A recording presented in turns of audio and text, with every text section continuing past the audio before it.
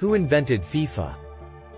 The first FIFA Congress was held on 23 May 1904 Robert Guérin was elected president, Victor E. Schneider of Switzerland and Carl Anton Wilhelm Hirschmann of the Netherlands were made vice presidents, and Louis Muhlinghaus of Belgium was appointed secretary and treasurer with the help of Ludvig Sylow of Denmark.